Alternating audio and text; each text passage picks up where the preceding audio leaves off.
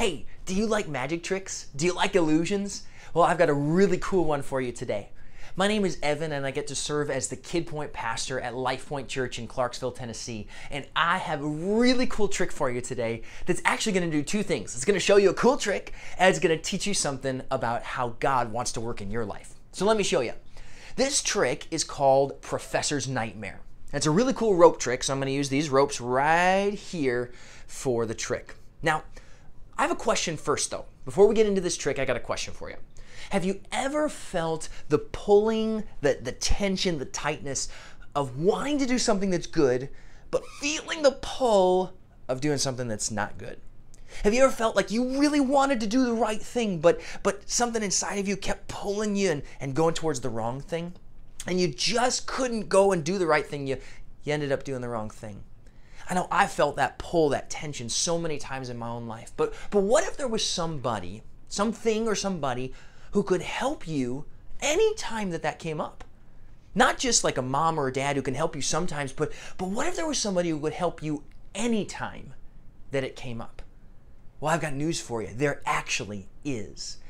God Himself, the one who created the whole world and the one who sent His Son Jesus to save us from our sins, he actually promised to send someone else after Jesus to be the comforter and the helper that we needed to live a life the way He wanted us to. Somebody who could take that tension and, and kind of pull us toward the right thing. That person is the Holy Spirit.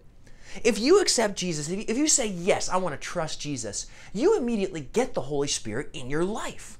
But some of us, we don't quite know how to think about Him or, or how to how to really yeah, think about him and, and, how to live with him in our lives. So I want to show you some of that, okay? Now, that's where this is where we're going to get to the trick.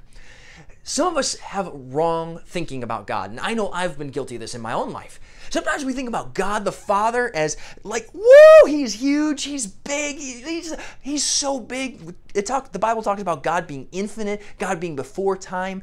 God is so big, but sometimes we think about God the Father as big, and then we think about God the Son as well, he's he's important. He's he's pretty big, but not quite as big as God the Father. And, and then we think about God the Holy Spirit, and we're like, who's that? Like, oh, he's he's kind of that little tack on, that little add on at the end. But but that's not how the Bible describes God.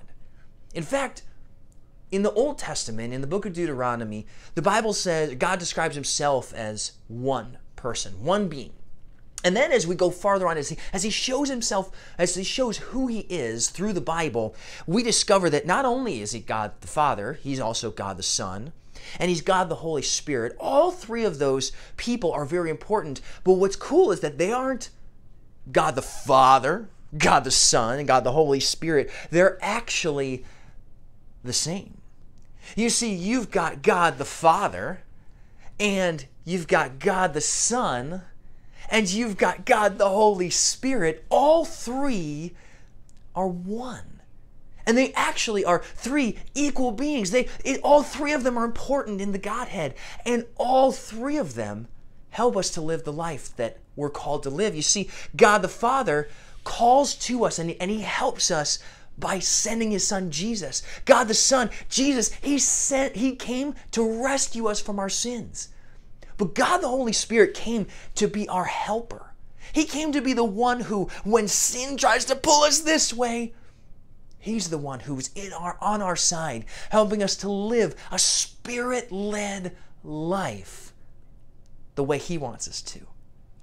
And so, if you want to learn how to live that spirit led life, learn how to live a life where sin doesn't, it doesn't always have the, the bigger pull, where God's Holy Spirit is with you and is pulling on your side, helping you to live His way, well, guess what? I've got great news for you. The Bible teaches us how to do that, and I'm going to be putting out some videos that are going to help you to, to develop, excuse me, to develop some of the habits that help you to live a spirit led life. So be looking for those videos. I hope you enjoyed my trick today. It's a fun trick called Professor's Nightmare, and I'm going to see you next time right here as we learn and discover what it means to love God and live a spirit led life. See you next time.